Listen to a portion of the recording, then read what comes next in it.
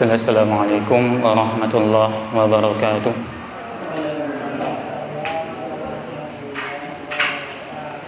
Alhamdulillah rabbil alamin wa sallallahu ala Muhammad wa ala ali Muhammad bi rahmatika ya arhamar rahimin wa barakatuh. Alhamdulillah kula nabi sami sampun nglampahi salat Isya dan salat tarawih nanti berjamaah ingkang pangajab mugi kelan panjenengan sami niatipun ikhlas uh, margi Allah Subhanahu wa taala. Salawat ugi salam mugi tansah konjuk dumateng baginda Nabiullah Muhammad sallallahu alaihi wasallam ingkang kula yang sami tanggo syafaatipun ing yaumul qiyamah. Bapak Ibu ingkang dihormati Allah Subhanahu wa taala. Uh, rikala riyen sampun kula sampaikan menawi ing donya menika wonten sekawan sekawan tiyang. Hamba ingkang kagungan ilmu lan harta bondo. Nomor kalih ming kagungan ilmu ananging boten kagungan bondo. Ingkang nomor tiga boten kagungan ilmu ning kagungan bondo.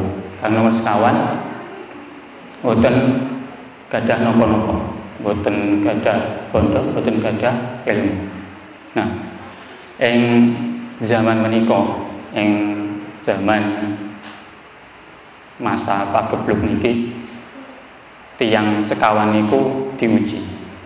To. Nek riyin contonipun uh, abdi utawa hamba hamba Allah ingkang kagungan bondo lan ilmu niku contonipun Nabiullah Sulaiman alaihissalam rajanipun sak bumi. Boten ming manungsa. Ananging nggih jin angin lan sedayanipun kewan ugi manuk dumateng baginda Nabiullah Sulaiman alaihissalam menika syukur. Syukure napa? Dados tiyang ingkang saleh panjenenganipun ngendika Hada min fadli rabbi liyabluwani. Am ashkur am akfur. Dados panjenenganipun ngendika menawi ingkang dipun gadahi menika ming karunia saking Allah Subhanahu wa taala. Untuk menguji dados syukur napa kufur. Nah, Ceritanipun nek ing jaman menika nggih wonten asline. Teng Jogja niku wonten tiang sugih istilahnya miliarder mualaf menika. Griyanipun lan mobil sedaya niku dipun sate. Total angsal uh, pikantuk 12 miliar. Nek miliar niku nule songo nggih Bapak Ibu.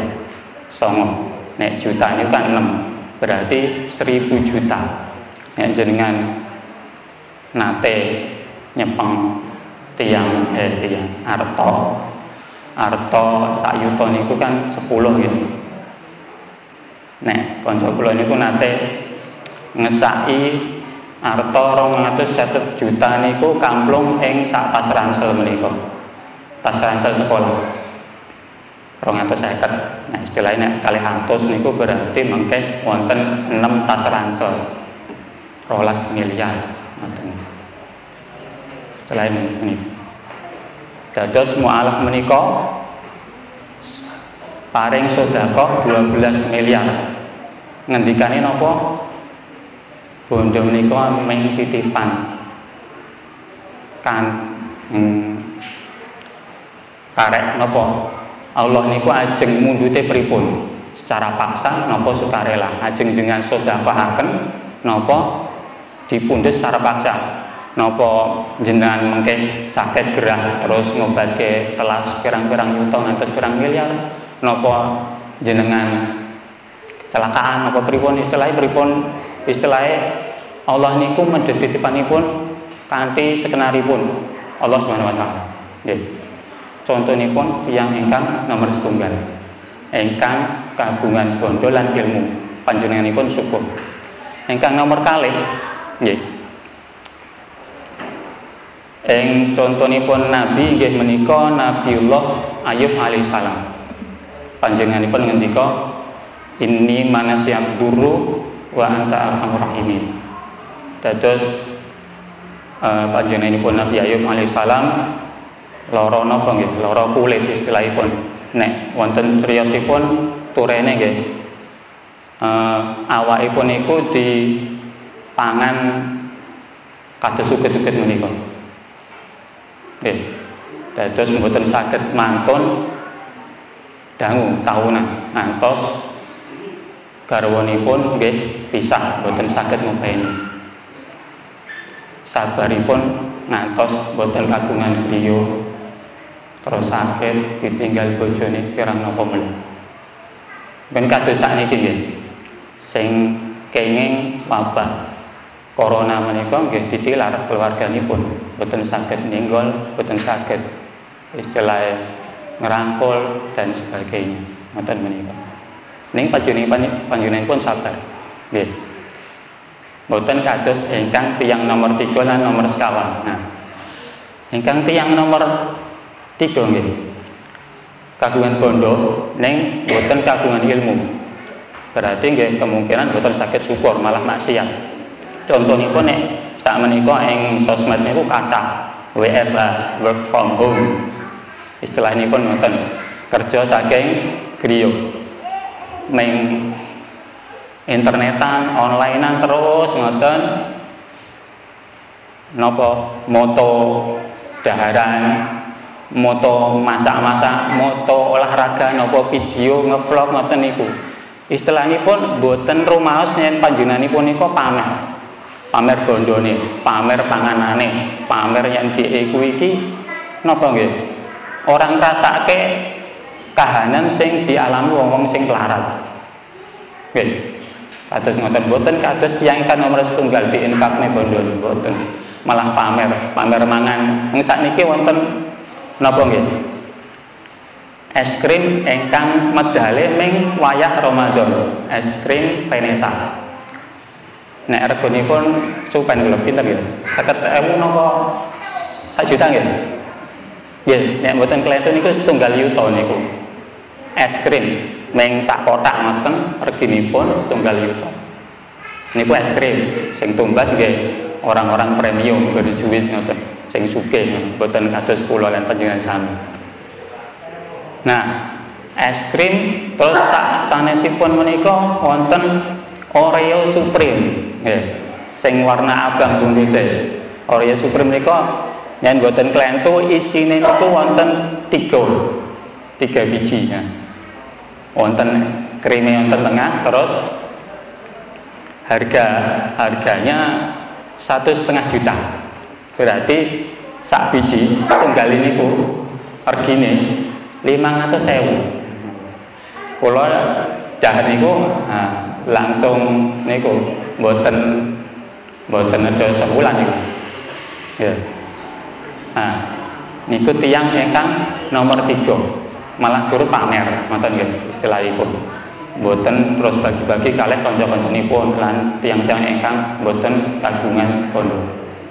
Nah, sing paling parah niku tiang ingkang nomor tiga eh nomor sekawan. Boten kagungan ilmu lan boten kagungan bondo. Istilah ini pun nggih pelarat nggih wis melarat ora duwe ilmu jantenan musibah niki. Musibah banget niku. Ing Facebook nggih viral niki. Jadi wong bakul-bakul sayur niku ngumpul wonten ing jembatan terus ngguwak sedaya sayur-sayuran ingkang disate amargi boten pajak. Mungkin sak bongkok niku regine ming setunggal ewu. Mungkin ya niku di video ke diucalke teng kali.